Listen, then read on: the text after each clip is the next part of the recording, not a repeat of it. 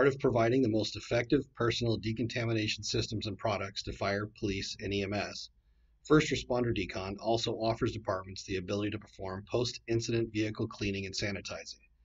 This can be done with our professional decon service crews or by the purchase of the FRD vehicle decon system.